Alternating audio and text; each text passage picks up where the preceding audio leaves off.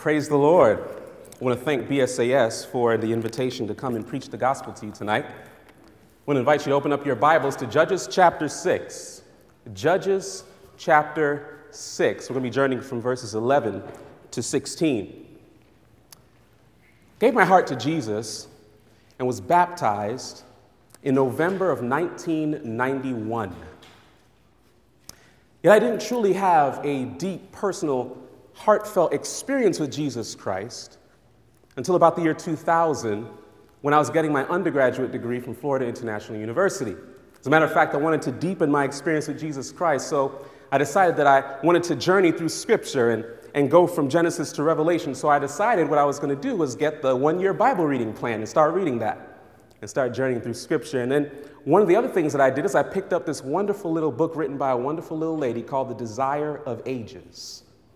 And I had a face to face encounter with Jesus Christ, and my heart was converted, and my life has never been the same ever since. You know, some people, when they describe their, their, their, their, their conversion experience, they describe it as a, as a dynamic 180 experience where there was a moment, there was an event where it all clicked and you gave your heart to Jesus Christ. And then there's others who may have had an experience which is just like mine, which may have been more of a gradual process that, that took place over the course of, of a few years. It was more of a journey. However, you experienced it, mine was so deep that at one point, I found myself at a fast food restaurant in line waiting for my food with my Bible open as I'm waiting to get my food. You were supposed to laugh right there. That's all right. However, I encountered a dilemma when I started reading the scriptures and I came across the children of Israel. And I could not understand how it is that the children of Israel could, could disobey God repeatedly so many times when God had brought them through so many things. I mean, I was scratching my head. It, it became a conundrum for me. As a matter of fact, I would read the Bible and I would see how God, God, He, he manifests Himself to the children of Israel. And then he delivers them from Egypt with a, with a mighty hand. And then, and then God, he, he, he, he brings them into the desert and he, he gives them the law of love. And then after that, he manifests rain and he, and he rains down manna from heaven and quail cuisine. And yet, the only thing that the children of Israel know how to do is complain against God and Moses. It sounds a little familiar to me as I read the story of the children of Israel because as I read the story, I see how God finally, the only thing he could do was raise up the second generation of the children of Israel and bring them into the promised land under the leadership of Joshua. And as long as Joshua lived, they served the Lord. But once Joshua died, the Bible declares one of the most frustrating and frequent statements in Scripture. The Bible goes on to declare, Then the children of Israel did evil in the sight of the Lord. This becomes a recurring theme throughout the book of Judges.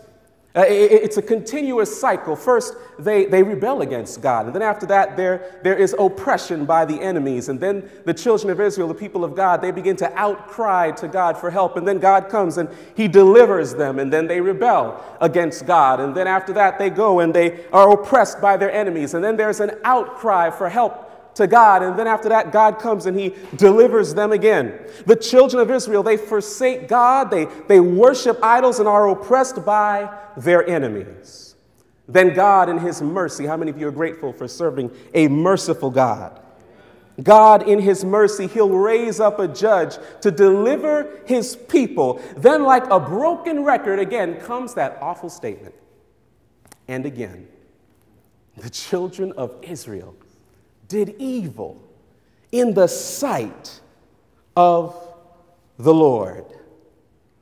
I would get so frustrated when I would see that statement. I, I, would say to myself, why is it that the children of Israel can't just get it together, just love God, just serve God? Things will be so much easier. And then God began to sit me down. And he began to speak to me, and Jesus began to say, CJ, through his word, CJ, does that sound a little familiar to you? And I think, honestly, if we really are honest, I think the reason why sometimes when we read the scriptures and we read those stories of the children of Israel, the reason it frustrates us, the reason it annoys us a little bit is because honestly, we can truly identify with the experience of the children of Israel. I mean, if, you, if you're honest, if your story was read like you read the story of the children of Israel, it would probably find the same statement stated about you. You can insert your name there. And again, CJ did evil in the sight of the Lord. By the time you get to Judges chapter 6, you find the children of Israel in a position of defeat because the children of Israel had failed to drive out all the inhabitants of the land and began to worship their idols. Now, the Midianites, who they had previously defeated, were destroying their produce, ravaging their land, and oppressing the people of God. They had neglected to drive out the people from the land. And it is also because we have neglected to drive out some of the things in our lives that we too find ourselves in a posture of defeat in the presence of the enemy, called by God but unable to fulfill our potential in God. However, I've got good news tonight. I said, I've got good news tonight. I said, My Jesus reaches down and he goes down to the guttermost and the uttermost. And one of the beautiful things about the book of Judges is the picture that we get of a loving God who refuses to let go of those whom he's called. And in Judges 6, we'll discover God's desire for us to embrace three powerful principles for fulfilling our calling as mighty men and women of valor. I want to invite you to pray to this loving God with me right now. Jesus, we invite your presence here once again. We thank you for the worship. We thank you that we can experience unity in the Holy Spirit tonight as we come to have an encounter with you and not the speaker. And I pray, Lord, that, that you will be seen, that you will be heard, and dear Jesus, that you will be responded to in the name of Jesus. Amen. Judges chapter 6, starting in verse 11. Judges chapter 6, starting in verse 11. The Bible says, And the angel of the Lord came and sat under the terebinth tree, which was in Ophrah which belonged to Joash the Abiezrite, while his son Gideon threshed wheat in the winepress, in order to hide it from the Midianites. And the angel of the Lord appeared to him and said to him, The Lord is with you, you mighty man of valor. You mighty man of valor. I am so glad tonight that we serve a God who looks beyond our, our feeble posture and sees our future potential. As a matter of fact, God calls us what we are and what we will be right now. God looks Gideon, who is in hiding. Where are you hiding tonight? who is in hiding straight in the eye and calls him a mighty man of valor. Now, I believe here at the Friday night experience that there are some men and women of God who God has called to be mighty men and women of valor. You see, if you're gonna if you're gonna be a mighty man or woman of valor, you've got to first get God's perspective. You've got to get God's perspective. I'm so glad that we serve a God who brings us to where He is so we can see things the way He sees them. Amen?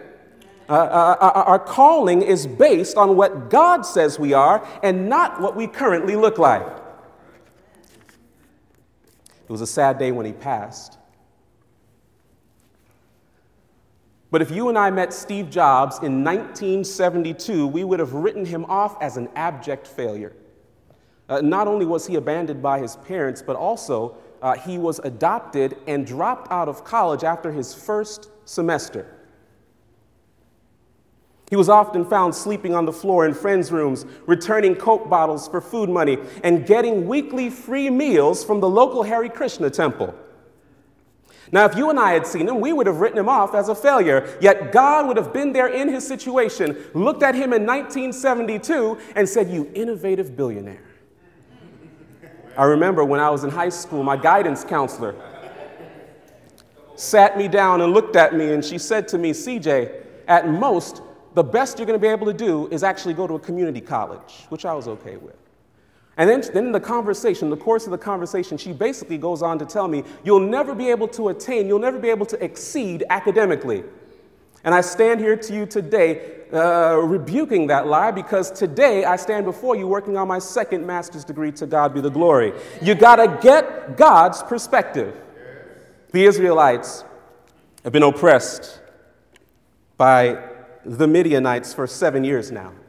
Uh, the situation had gotten so bad that the, the Bible says that they were hiding in dens, caves, and strongholds in the mountains. In this story, we find Gideon threshing wheat in a wine press in order to hide it from the Midianites. And I can just see Gideon looking over his shoulder to make sure that nobody sees what he's doing. And then suddenly he hears a voice. A startled Gideon looks up to see this, this divine being, the, uh, who the Bible calls the angel of the Lord, standing right in front of him. And the words from this divine messenger comes to Gideon as a complete surprise. Uh, first, he says, The Lord is with you. Now, one might read that and say, well, yes, yes, the Lord will be with him when he goes on later on to fight the Midianites. But, but I believe if we consider that text just a little bit carefully, I think we'll find something that the Bible is, is whispering to us here. There's something a little bit more richer here. Uh, the verse says, the Lord, that is Jehovah, uh, that is Yahweh, is, present tense, with you. As in, he's right here, right there with Gideon. Then this begs the question who is then the angel of the Lord who is standing with Gideon? Well, in verse 19, verse 14, it says, verse 14, then the Lord turned to him and said, Then the Lord turned to him and said, and it goes on later to say, Then the Lord said to him, Have I not sent you? Have I not sent you? Then, if you also consider uh, Gideon's reaction to him in verse 22 of the same chapter, the Bible records now Gideon perceived that he was the angel of the Lord. So Gideon said, Alas, O Lord, for I have seen the angel of the Lord face to face. Then the Lord said to him, Then the Lord said to him, Peace be with you. Do not fear, you shall not die. You see a similar appearance of this angel of the Lord just a few chapters over in Judges chapter 13, if you want to go with me there. Judges chapter 13, when he appears to Samson's parents in verse 21. The Bible again goes on to record about this mysterious angel of the Lord. It says, When the angel of the Lord appeared no more to Manoah and his wife, then Manoah knew that he was the angel of the Lord. And Manoah said to his wife, We shall surely die because we have seen God. Friends, this is none other than the pre incarnate Christ come in human form. This is Jesus. As he is mentioned in Matthew chapter 1, verse 23, Emmanuel, God with us. The same God who in the beginning spoke and worlds were spun into existence has come down to tell Gideon that he is with him. And I dare to tell you tonight that same God is saying the exact same thing to you tonight. And he is not only with him, but he gives Gideon his divine perspective. He declares that uh, this man who looks defeated and is in hiding is, in fact, a mighty man of valor. You may look defeated tonight. You may look down. You may even be unsure of your purpose and calling in life. But I'm here to tell you tonight that, that, that no matter how you see yourself tonight, uh, God looks down to you tonight and He says to you, I am with you, you mighty man, you mighty woman of valor. You've got to get God's perspective of what He says about you in His Word. But Gideon is no different than us. As a matter of fact, he has his doubts and objections as to, as to who God says he is. As a matter of fact, if you go with me to Judges chapter 6 again in verse 13, Gideon actually starts to get an attitude with God.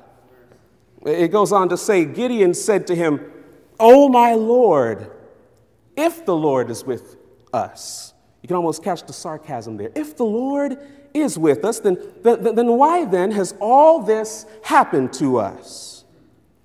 And where are all the miracles which our fathers told us about, saying, Did not the Lord bring us up out of from Egypt? Uh, but now the Lord has forsaken us and delivered us into the hands of the Midianites. But I love what the Lord says next. It says in verse 14, Then the Lord turned to him. Then the Lord turned to him and said, Go in this might of yours, and you shall save Israel from the hand of the Midianites.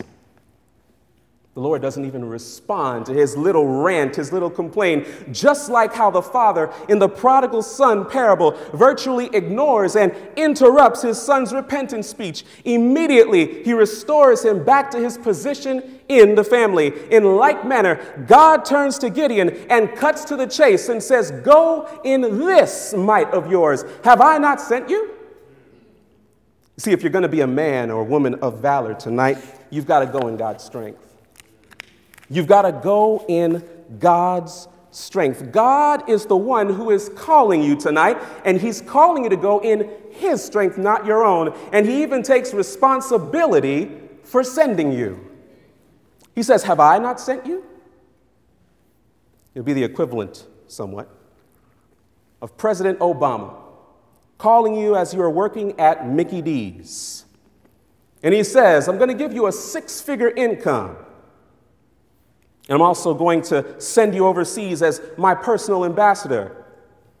And in addition to the salary, uh, you'll get free housing, a, a, a government subsidized health insurance plan, a, a government life insurance, and five weeks vacation.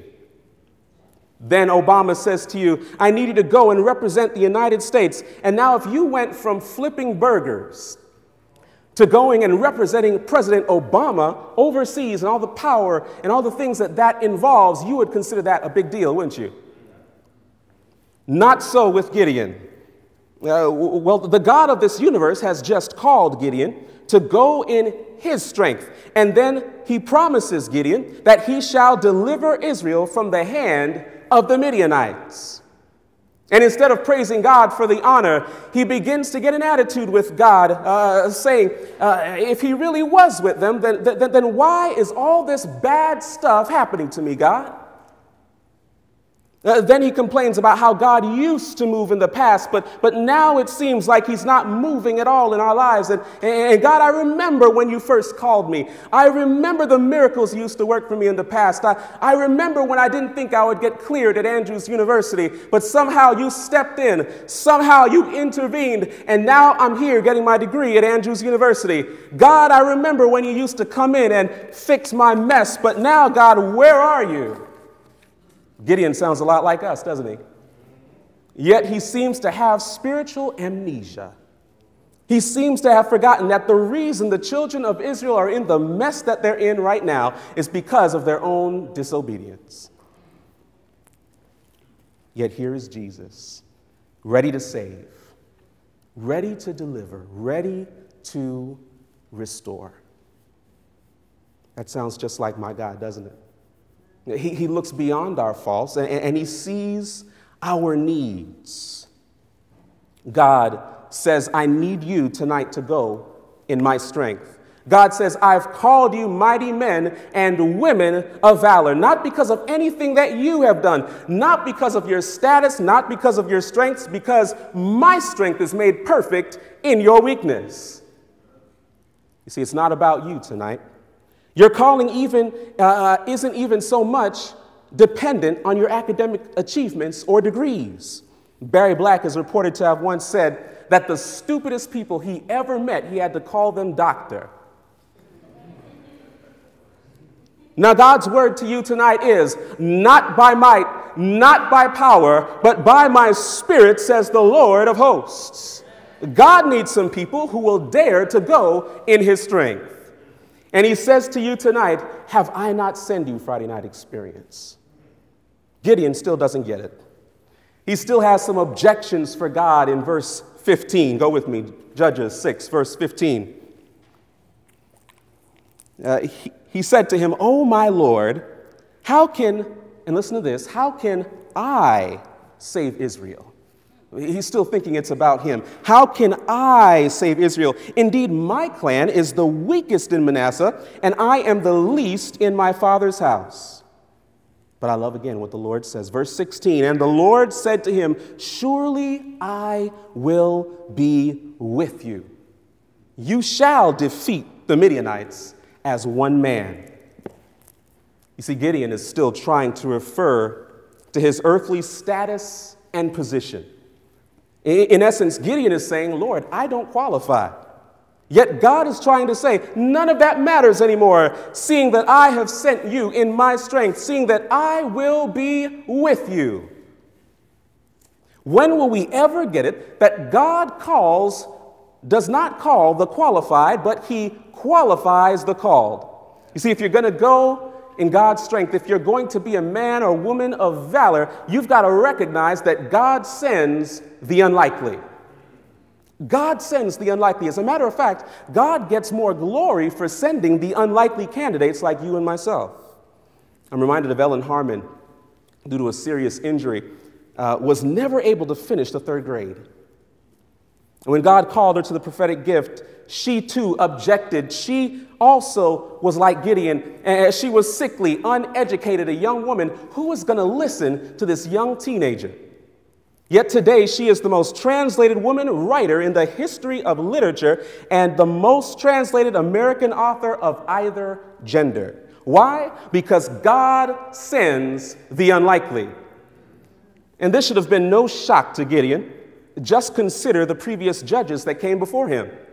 Uh, Ehud was left handed, Deborah was a female, Jael wasn't even an Israelite. By sending these unlikely candidates, God is showing that deliverance comes from Him and not by human power. Uh, just look at some of God's recruits from the past. Uh, Moses claimed not to be a good speaker. Uh, Jonah ran from God. Jacob was a liar. Noah got drunk. Rahab was a prostitute. David had an affair. Jeremiah was depressed. Solomon was rich in wisdom but poor in lifestyle. And John the Baptist was just plain poor. Uh, Timothy was too young. Abraham was too old. Lazarus was dead. Sarah was barren. Naomi was a widow. And Peter lacked self control. Uh, uh, God just needs some people that are willing to say yes to Him. You may feel insignificant or unqualified tonight. You may feel like, God, uh, you got the wrong person. You may even want to say to God, uh, uh, God, I just can't do this. And He will look at you and say with a big smile on His face, Perfect. You're the right candidate for the job. Surely I will be with you, you mighty man, you mighty woman of valor. Have I not sent you? Friends, Jesus stood before Pilate, bleeding. And he didn't look very mighty. As a matter of fact, the Bible goes on to say in John chapter 19 and verse 10, it says, Then Pilate said to him, Are you not speaking to me? Do you not know that I have the power to crucify you and, and, and, and, the power to release you? And then Jesus, as if he can't take it anymore, he has to respond. He says, You could have no power at all against me unless it had been given to you from above. Therefore, the one who delivered me to you has the greater sin. And then when they raised Jesus on that cross, Uh, to the onlooking crowd, he didn't look so valiant. And that Friday evening, when they placed him in the tomb, he didn't look so victorious. But early Sunday morning, my Jesus got up from the grave. He got up with all power in his hands. He is victorious, he is triumphant, and as a matter of fact, my Jesus is the mighty man of valor. And so he comes to you now, right where you are right where you are tonight, right where you are in your life. And He calls you to go. He calls you tonight to get His perspective. He calls you tonight to go in His strength. He calls you tonight to recognize that He sends the unlikely. That includes you, that includes me. And He's calling you tonight to stand up and be like him, a mighty man of valor. Many of you know the story. Gideon goes on to defeat the Midianites, the Midianite army, with just 300 men. As a matter of fact, that's the original 300 movie. But before God sends him to go and fulfill his purpose, before God sends him to fulfill his destiny, he calls him to go and he calls him to tear down an idol and build an altar in the very place where that idol was. I believe tonight God calls you men and women of valor. But He needs you to tear down some idols that are in your life. There are some idols that you have allowed to erect in your life, very much like the children of Israel. See, the beautiful thing about God is that the children of Israel were still called by God, even though they had disobeyed Him many, many, many times in the past. It never stopped God from going down and saying, You mighty man of valor, you mighty woman of valor. You see, the idols in our lives doesn't stop God from pursuing us. God is calling us to take those idols that we have allowed to be established in our lives. And then what he's asking is in that very place, I want you to surrender that thing to me, your life, a living sacrifice unto God, a, a sweet smelling aroma to Jesus. You can't do it by yourself. And so he promises you the promise of the Holy Spirit to empower you to do that. And so tonight, I really want you to consider this song because you see, Jesus wants it all today. Jesus wants our hearts, He wants everything that we have. That includes you, that includes me. So I just want you to consider the words to this song, and I'll come back and pray. But I want you to consider give God your all. Let go of your idols and give it all to Him.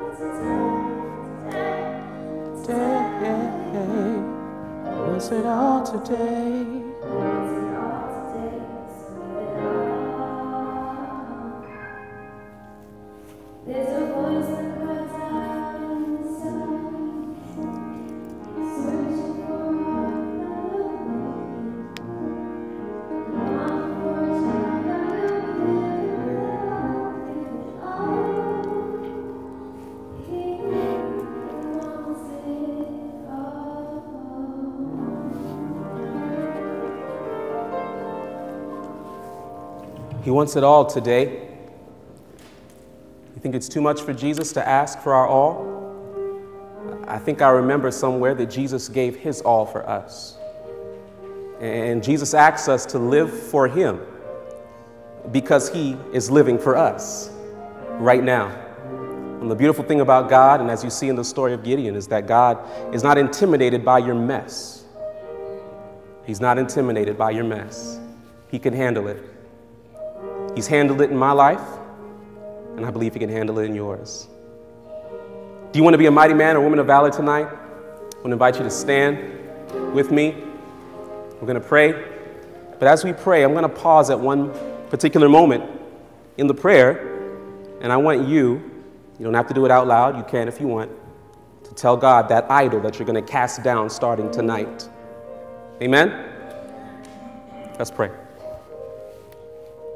Dear Jesus, we worship you tonight. We, we celebrate you tonight. It's the Sabbath, Lord. I can rest in your grace. But tonight, Lord, there's, there are some idols. They exist. We've allowed it to get in, and tonight we want to let it go. Because, God, there is a destiny, there is a fulfillment a purpose that, that, that you want to accomplish in our lives. But guess what? We can't do it unless that idol is still there. We've got to let it go. We've got to cast down every idol. You're not intimidated by that idol. As a matter of fact, you want to put in place of that idol the Holy Spirit, the things of God, the things that we can enjoy. As a matter of fact, it's a much better experience. You said your, your burden is easy and your yoke is light.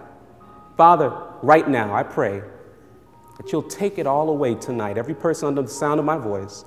I pray right now as they get ready to, uh, to, to lift up to you, as you listen to these prayers right now in your sanctuary, I pray that you would wipe the slate clean tonight. Right now, Father, they're going to talk to you. Just listen to them right now, Father. They're talking to you in their hearts. Many of them may be talking to you out loud or whispering, but listen to them right now, Father.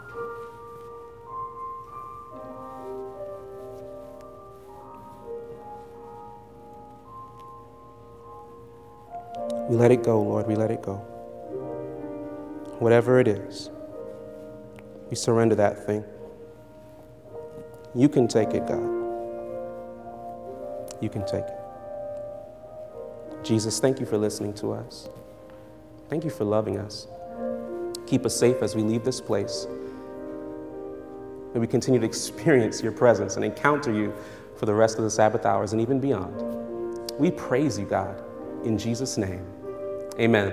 Amen. Can we give God a, a hand clap of praise to celebrate his goodness? I want to thank you. I want to thank you again. Thank you for coming out to the. Uh